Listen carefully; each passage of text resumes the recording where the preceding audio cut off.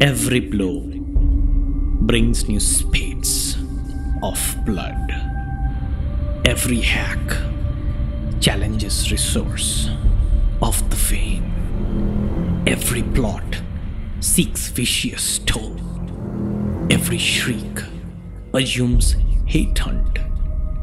Corpses pile as garbage after a festival. There must be somebody who look to the radiance of the east and vows to reach where dreams dare.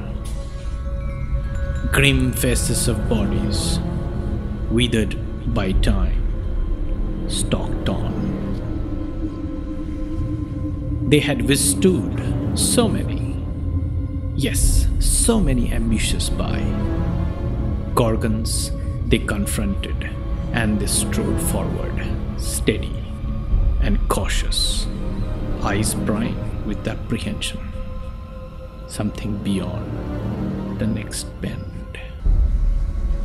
They had learned of hordes of such men that sprang at duel with the sun, rain, storm, measured swords, and kissed ground with the hilt in hand.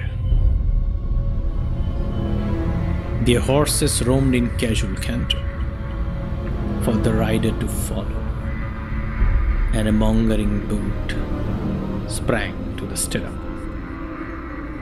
There cannot be a pause. There cannot be a sigh of relief. There cannot be a settle forever. There cannot be a tranquility above.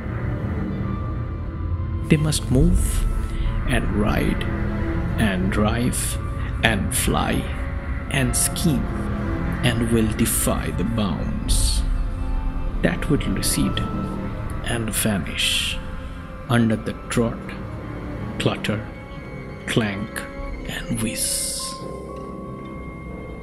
There is no signpost, neither there is any road map. Only call is ahead.